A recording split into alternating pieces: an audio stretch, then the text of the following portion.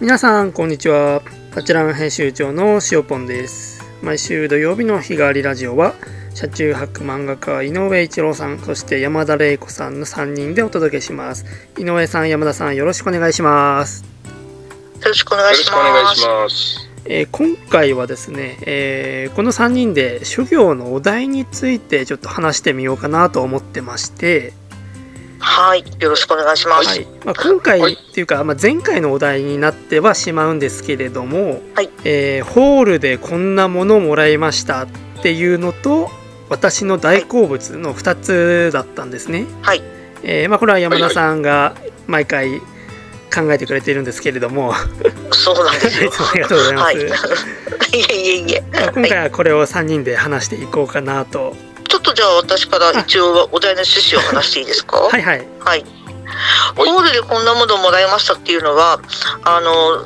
全国どこでもやってるファンカンパチンコファン感謝デーっていうイベントがあるじゃないですか。はいはいあ。れって席に座ってるとみんなくじを引かせてもらってで何か当たったり外れたりまあ外れてもなんかヤクルトもらったりなんかちょっとティッシュもらったりとかするのかなそんなぐらいでなんかもらってたまに何かそこすごい得大体一等にほら液晶テレビがあったりとか、はいはいはいなんか結構豪華豪華な景品をねホールが用意していてそれをもらうこともある。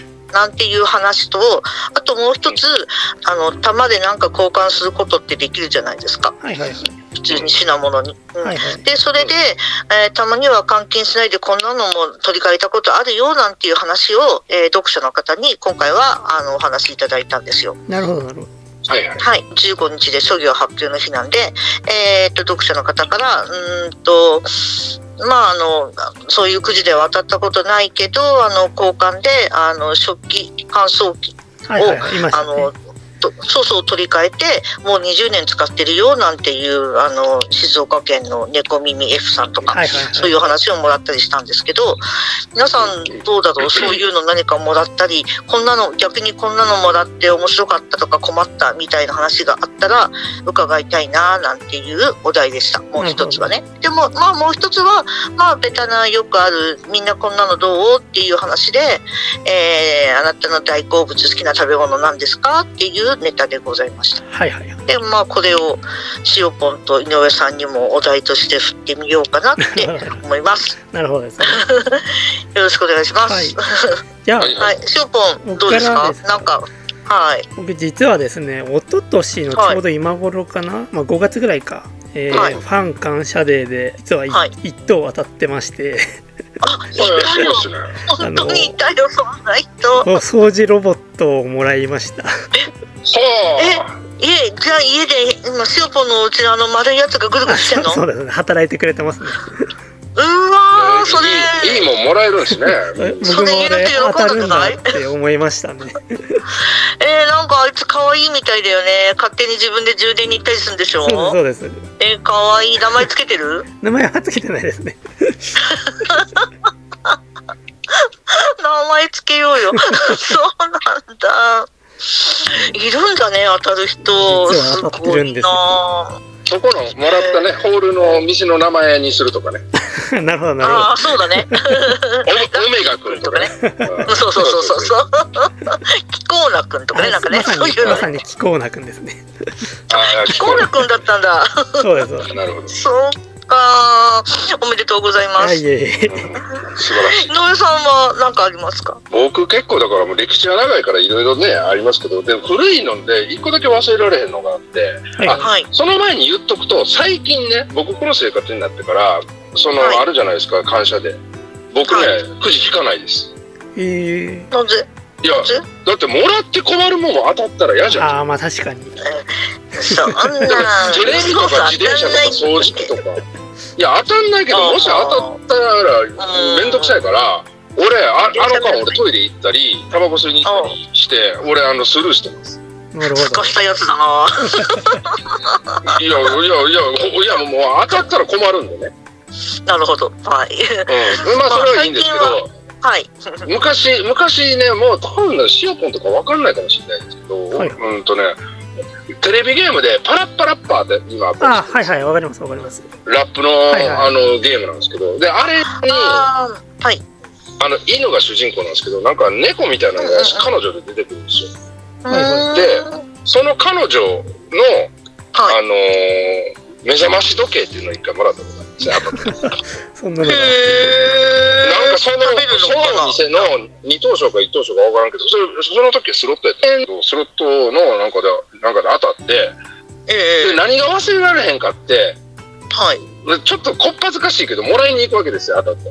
はいはい。はい。そのカウンターに。ええほんで、ね、当たりましたって言ったら、めちゃめちゃ可愛い女の子がそれをくれた。で、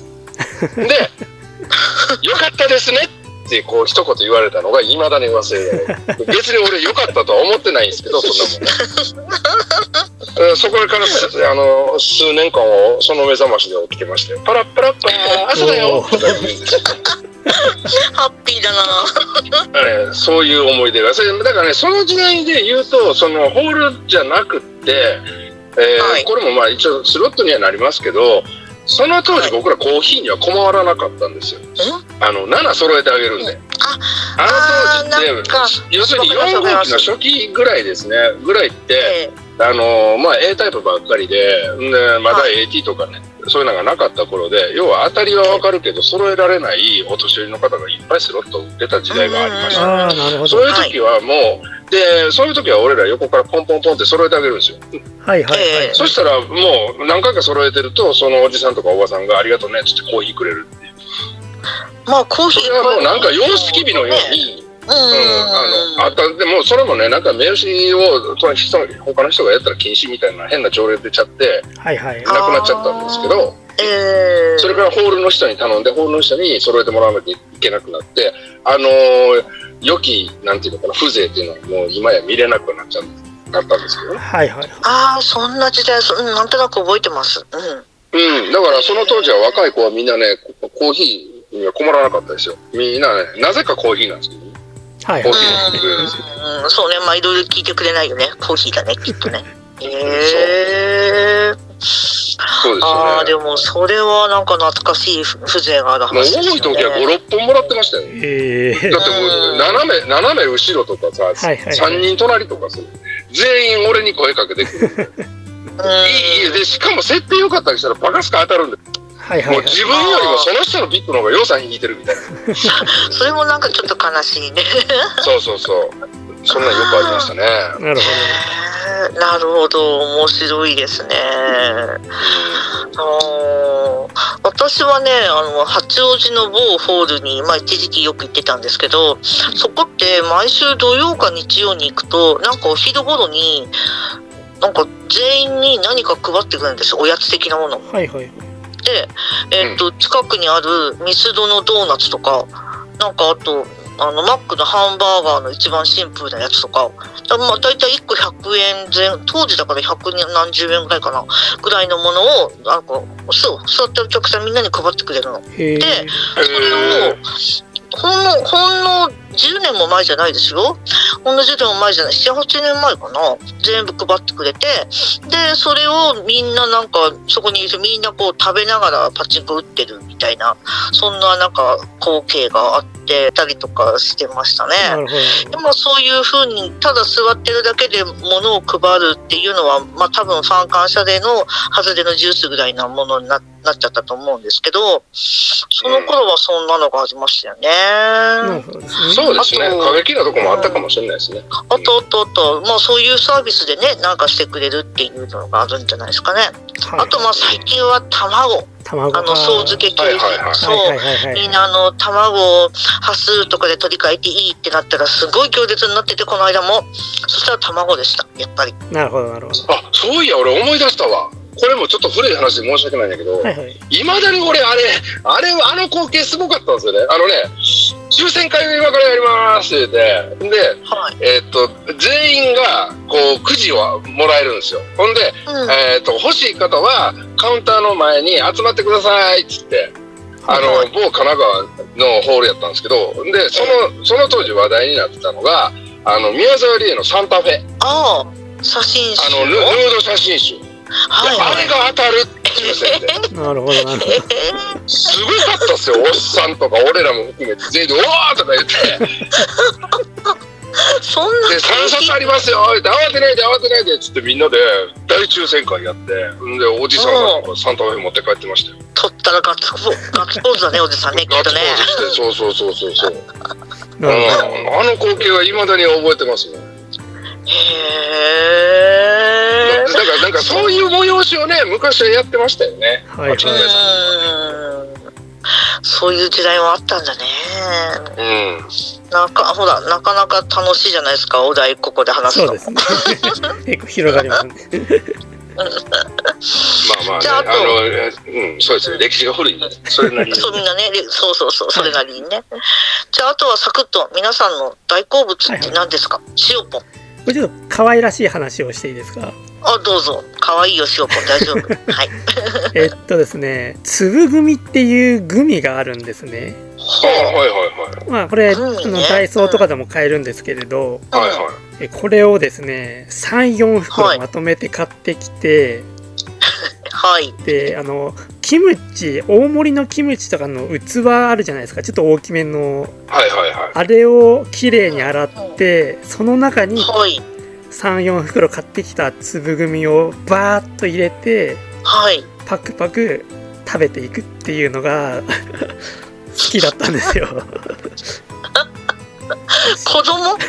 仕事の合間とかにえ、グミを？グミですね。え、ちっちゃいのじゃ、ちっちゃいの？大きいので普通、普通のグミじゃないはダメなのあ全然普通のグミでもいいんですけれどその粒グミっていうのがすごいなんか食べやすくてですね。へえ、ダイソーに今も売ってる？ああると思いますよ。えー、それは塩ポの中のマイブームが今はちょっと収まったの？で実はこれをちょっと本当つい最近までやってたんですけどえちょっとあまりにも調子に乗りすぎて食べていったのが多分原因なんですけどえええ。歯が痛くなってしまいまして あー、確かに。今ちょっとあそんなちっちゃいのが歯に挟まったら、うん、痛くなりそうな気がする。ちょっと虫歯を考えちゃってるとこなので今は抑えてます。それは歯医者には行かないとね。まあ、あと太りそうですもんね。おああの俺も運転でそうだよね。眠気覚ましにグミは食べますけど、はいはい。なんとなくこれやり続けてたら太りそうやなっていう、ちょっと懸念はありますね。はいうんグミって太りそうだね。そうだね。うん。まあそれがうん。大好物って感じのものですね。うん、うーん。まあ可愛い可愛いけど。ちょっと危険だったね、うん、井上さんは何がお好きですか？そういえば、まあ、俺は好物、あんまり、今はあんましだから、ないんですよね。だから、考なんか単行本見たら結構麺類食べてますよね。いや、麺類が好きです。麺く。だで、うんと、好物っていうか、俺、夜中のラーメン好きですね。ああはいはいはいうんうん、だからあんましどうしても夜中までやってるのって最近まあコロナ禍以降あんましないんで少ないんですけどだから昔はねどんなラーメン屋さんでも結構夜中までやってたんですけど、うん、結構早く終わるんで。で何が好きかってだからあの思い出があるんですよ。だからこの生活してからのなんか真夜中にすんごいあの吹雪いてるところ走って道もどんどん凍ってくるしでそんな中をこう必死必死のパッチで走ってでなんとか高速道路から降りて下道のどっかで休もうと思った時に夜はい。中の2時ぐらいに高校と光ってるラーメン屋に入ってラーメン食べるっていうね。なんか命助かったみたいな。はいはい。なんかそれが未だに忘れられでそれがねな、えー、と長岡屋。はい今日もご覧いただきありがとうございます。ぜひチャンネル登録、グッドボタンをお願いいたします。